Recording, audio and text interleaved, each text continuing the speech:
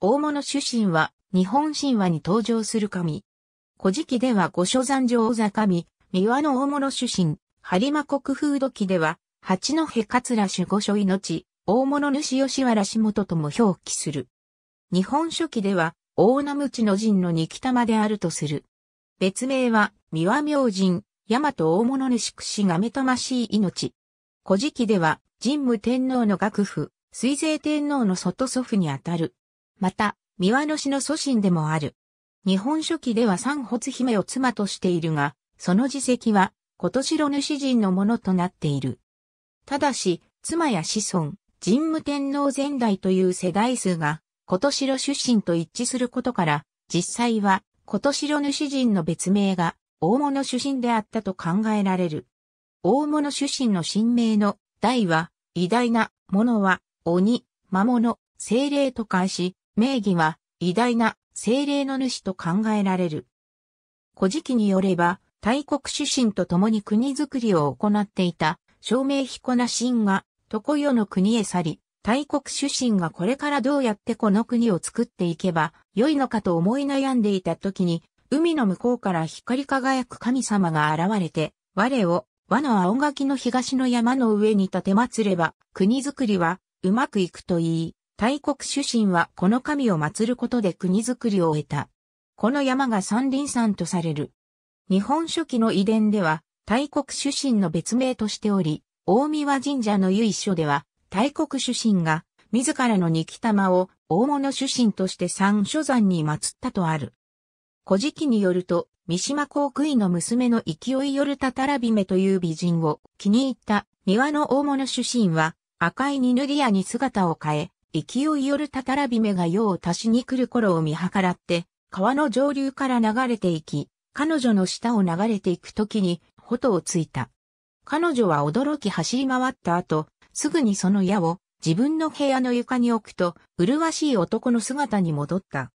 こうして二人は結ばれて、生まれた子が、不当たた、両椅子月姫命であり、後に、ホトを嫌いびめたた、両椅子清りびめと名を変え、神武天皇の記載となった。橋墓古墳に関する伝承である。大和ととひももそ姫は、夜ごと訪ねてくる男性に、ぜひ顔を見たいと頼む。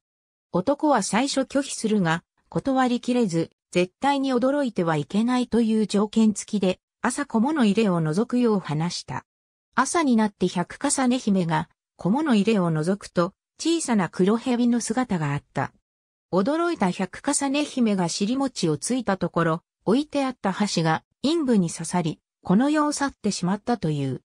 主人天皇が天変地異や疫病の流行に悩んでいると、夢に大物主が現れ、子は我が心ぞ。いふたた、泥いにしえを持ちて、我が御霊を祀らしむれば、神の木起こらず、国安らかに平らぎなむと告げた。天皇は早速、勝玉より姫の末裔とされる、いふたた、泥いにしえを探し出し、三輪山で祭祀を行わせたところ、天変地異も疫病も収まったという。これが、現在の大三輪神社である。日本書紀では、主人天皇が大物主から夢で直接に信託を得るまでの貴木や沐浴再開、宮殿内部の清清といった祭祀の過程と内容が詳細に記され、天変地異が収まった翌年に、大三輪神社に建て祀る酒の鑑賞に、高橋優の一活碑が任命されている。なお、古事記では、三輪大臣は、大三輪の大三輪とされる。なお、これを経営図に起こすと、東津耳命、勝玉より姫串見方命、飯方住命、竹三日槌の命、二た、根いにしへとなる。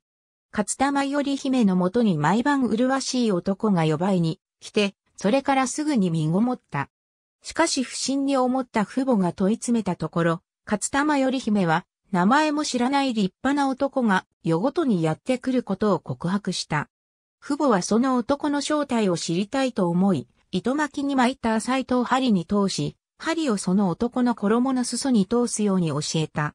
翌朝、針につけた糸は、戸の鍵穴から抜け出ており、糸をたどると、三輪山の車まで続いていた。糸巻きには、糸が三回りだけ残っていたので、三輪と呼ぶようになったという。